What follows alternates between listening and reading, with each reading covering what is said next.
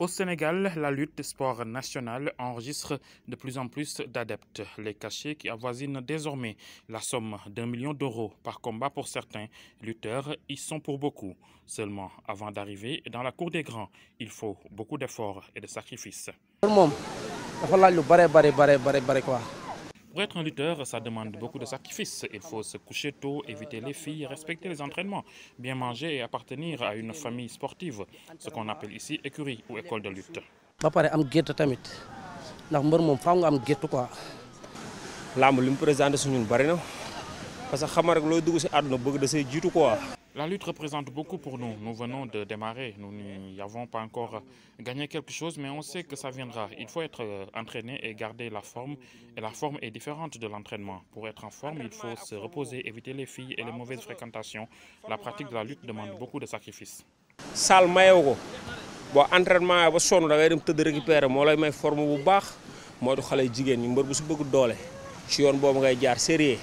parce que sartu Aux différentes plages de la capitale sénégalaise, les jeunes lutteurs s'entraînent entre eux pour espérer taper dans l'œil d'un promoteur. Un travail physique intense pour dépasser ce stade et être reconnu.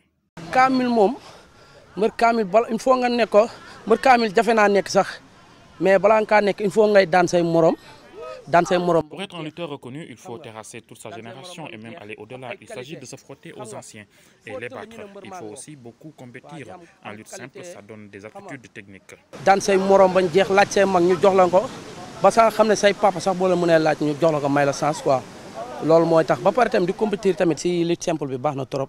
ñun mbëri mag yi li ñuy daj rek ñun moom la ñuy daj boo xoolee sax ñun ñoo leen gën a mettile On n'a rien à envier aux grands lutteurs.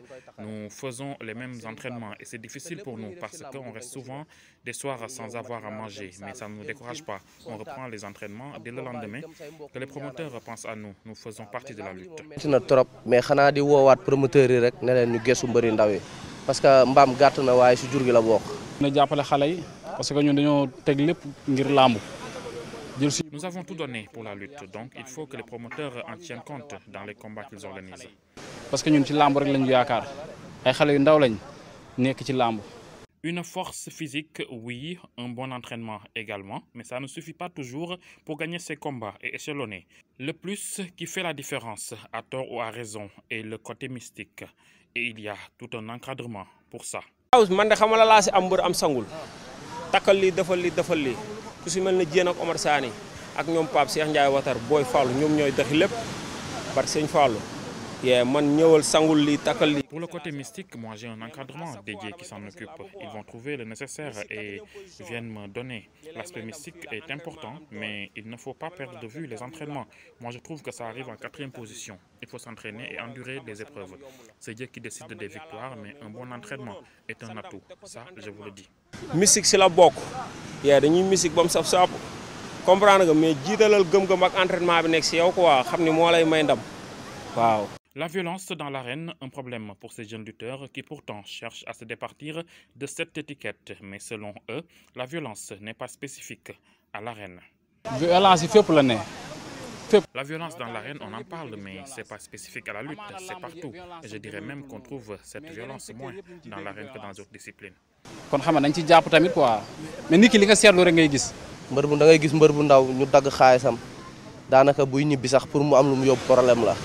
xam nga ay dagg yoo xam ne teguñu ko fenn La violence dont on nous accuse n'est même pas euh, notre œuvre. Ils en profitent pour réduire nos cachets et c'est pas juste. Nous, on a la lutte, on a juste la lutte. On s'entraîne et on fait ce qu'on a à faire. mooy suñu métier moom la ñuy def amuñu leneen dañuy xëy dem entraîné dem tëdd nelaw jàpp ci làmb jàpp ci yàlla waaw loolu lañ am La lutte sénégalaise, bien qu'appréciée, tarde pourtant à décoller à l'international. Zéro médaille affichée au compteur des Jeux olympiques. Il y a encore des efforts à faire pour y parvenir, selon ce jeune lutteur. Jeux olympiques day tax day tax àdduna xam la ba pare day yokk sa expérience bëre simple si bëre dóor bi quoi ndax. Je ne comprends pas pourquoi on tarde à avoir une médaille aux Jeux olympiques. C'est peut-être parce que c'est plus compliqué. En lutte ici, après la chute, c'est fini. Alors que pour les Jeux olympiques, c'est différent. xam